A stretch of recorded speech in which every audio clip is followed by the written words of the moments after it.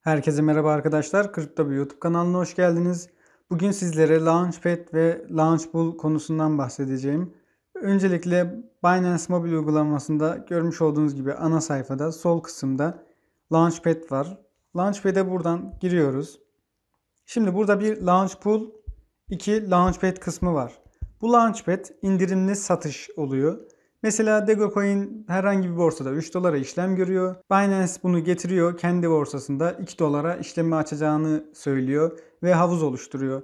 380 bin adet Dogecoin için herkes elindeki BNB'leri havuza koyuyor. Herkesin koymuş olduğu BNB'ler havuzda Dogecoin miktarıyla oranlanıyor. Toplam kişi başına artık ne kadar Doge düşecekse sizin havuza yatırmış olduğunuz BNB'lerden parası ödeniyor. Alabileceğiniz miktar kadar alınıyor ve kalan BNB miktarınız iade ediliyor. Mesela ben 30 BNB koydum. Payıma 1 BNB'lik Dogecoin düşüyor. Bir BNB buradan kesiliyor ve Dogecoin olarak elime geçiyor. Kalan 29 BNB ise aynen hesabıma geri geçiyor. Yani payınıza düşen kadar BNB'nizden ödeniyor.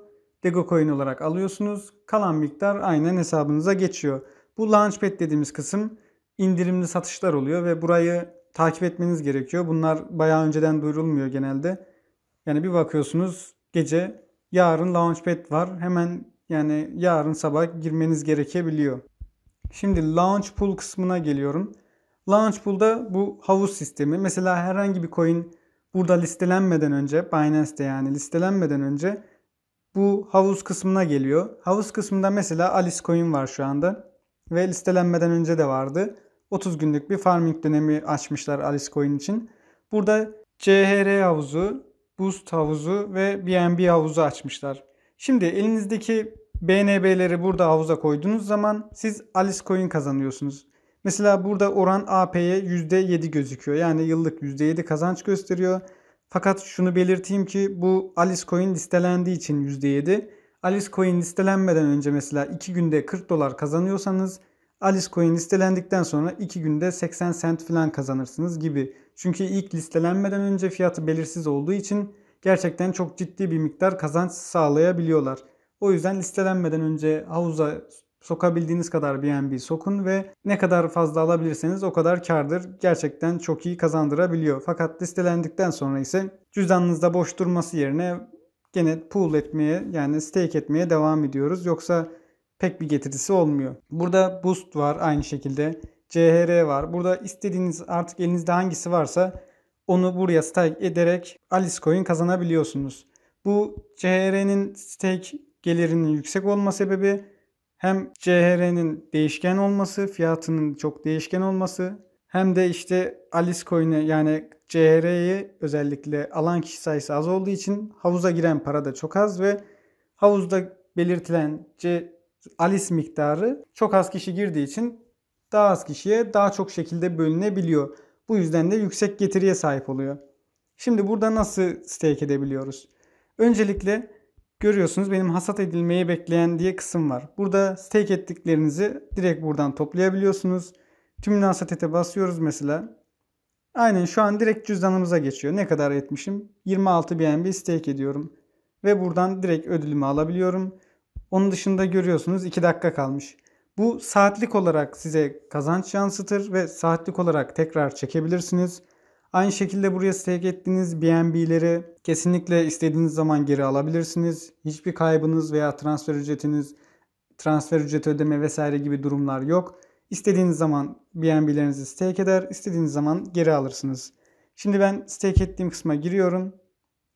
Gördüğünüz gibi burada toplam BNB havuz ödülü var. En fazla genelde BNB'ye yeni eklenen coin'i veriyorlar. Çünkü Binance'in kendi coin'i olduğu için en fazla coin miktarını bu havuza ayırıyor. Farming dönemi gördüğünüz gibi 30.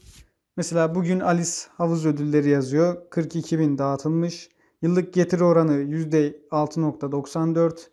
Farming'in bitmesine kalan süre 22 gün 1 saat 52 dakika gibi. Burada bütün bilgiler zaten yer alıyor. Aynı şekilde burada pool'a gelen projeleri de direkt web sitesi, white paper vesaire yani beyaz kitap vesaire şeklinde buradan projeyi inceleyebilirsiniz. Bu sayede proje hakkında da bilgi alabilirsiniz.